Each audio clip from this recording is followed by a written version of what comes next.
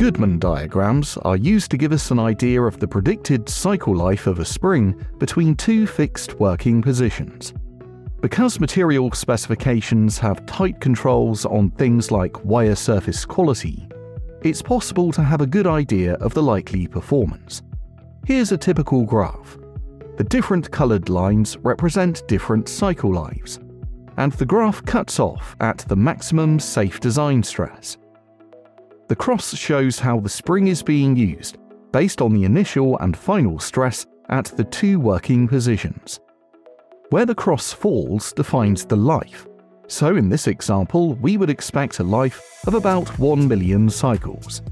These are generally fairly reliable predictions, but given the variation in things like material properties, it's always a good idea to test your actual spring, something we do on a daily basis at IST.